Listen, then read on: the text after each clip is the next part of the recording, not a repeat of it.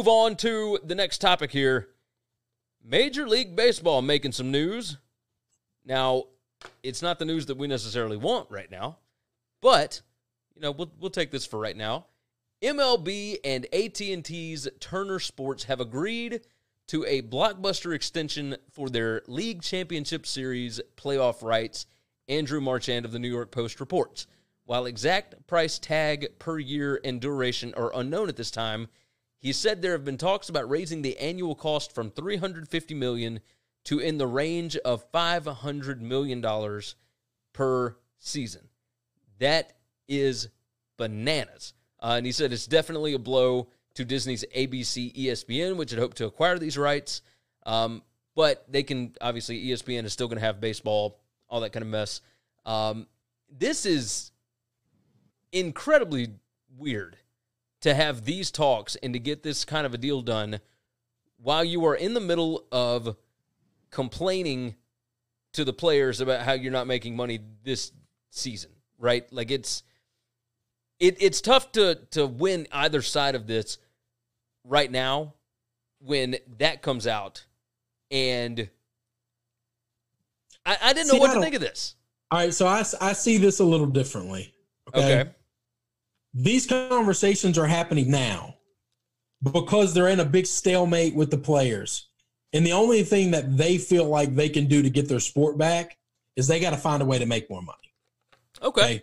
And so if you renegotiate your deals that you have, and you know on the back end of this thing, you have a lot more money coming in, they might be willing to make a better deal with the players today. So yeah. if this year they do operate at a loss or whatever it ends ends up happening in their finances, they kind of can play a long game. Yeah. The players are unwilling to play a long game, and that's fine. Not not saying one side's right or wrong, but this gives them the ability to play a long game. That makes sense. That makes sense. Um, that's that's why these these negotiations haven't been happening for the last three months. These negotiations recently started, yeah. and you know, kind of came to to to what they we think is going to happen, and and all that's happened during this stalemate with the players over the last you know couple of weeks. Let's uh, jump into the chat here. Williams said, with regards to college football's return, just pray Oregon doesn't, quote, duck out on the North Dakota State game. Now, I would love to see that game happen. So I'm, I'm hopeful, but we'll see. Uh, Albert jumped in. Hope it doesn't end up with too many false accusations like Me Too did. Uh, agreed. Like, you hope that there are no false accusations. These just seem a little more. I, I uh, think.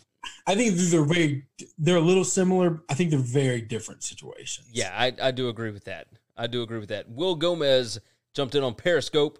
Uh, what's up, brother? How are you? Don't be surprised if we have games, but no fans if we see spike tick up. Uh, good gracious, spike tick ups after the first week.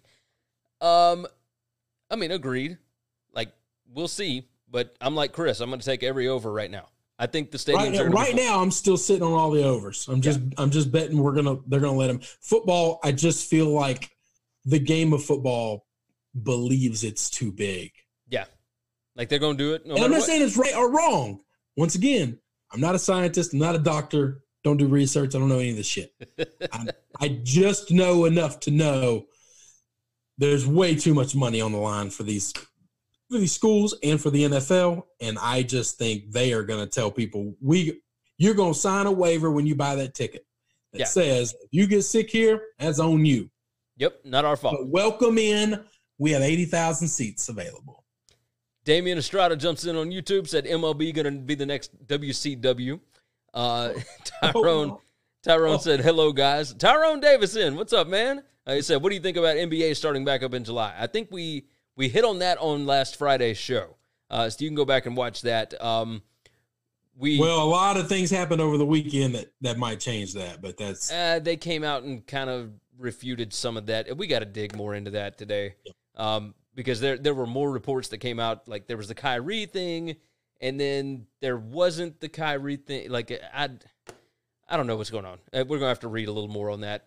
Um, let's see, 2020 virtual baseball. Uh, yeah, I mean they were doing virtual racing for a little while. No, no, no. MLB the show.